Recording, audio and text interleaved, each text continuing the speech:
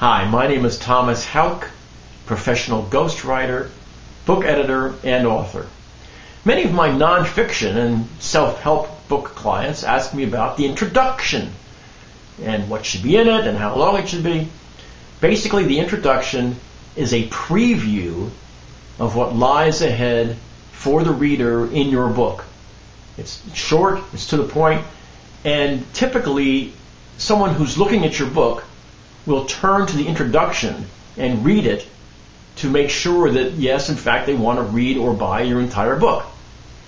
So, say your book is about living a happier life, you'll say, in my book, in this book, you'll learn how to live a happier life, chapter 1, chapter 2, chapter 3, so forth.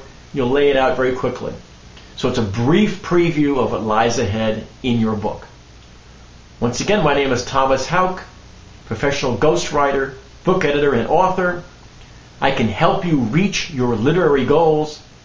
I invite you to contact me. Just Google me, Thomas Hauck in Gloucester, Massachusetts, or go to bookeditorhauck.com. I look forward to hearing from you. Thank you.